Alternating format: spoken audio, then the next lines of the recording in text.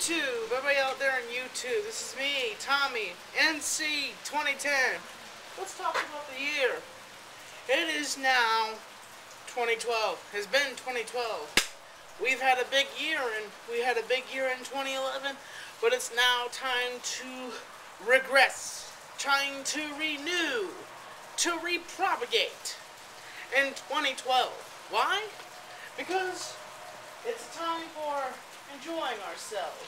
A time for building things. A time for enjoying fine coffees with honey and sweet sugar and cream. Mm. That smells good.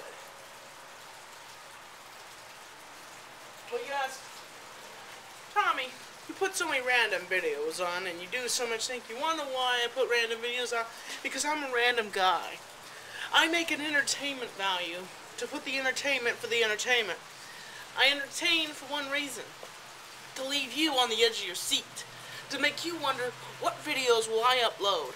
What stuff will I do? I'm not normal. I am out there. I'm Pacha. And the fact is, I'm entertaining. And if some of you think that I'm not entertaining, take me as I am.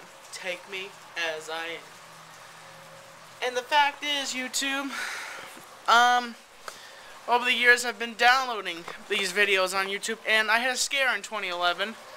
I had all all my videos deleted, all in one time, and I had to rush and get old videos up just to put on my channel. You guys started to ask, why did you? What happened to your videos, Tommy? What happened to your videos? You know, the fact was, um, I appreciate the love and I mean, kind of like the love of a fact that I have fans out there that want to watch my videos.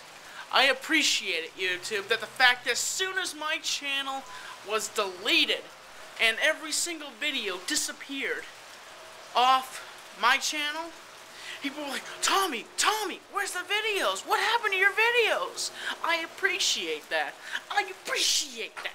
I praise the Lord and give goodness gracious to the great Lord.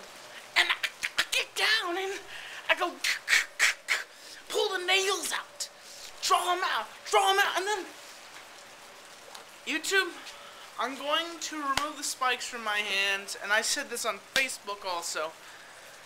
I wish not to be insulted by this, and I know this next thing is fake, every bit of it. Um, I'm a WWE fan. I have been a fan for a while, and I ha I've been saying I'm a spectator. I've been lying to you guys. I'm a fan, and I admit it. Um, I know, here's the thing, I don't like football. I don't like any other sport. Football, dodgeball I like, but any other particular sport, I, I just, I don't like it.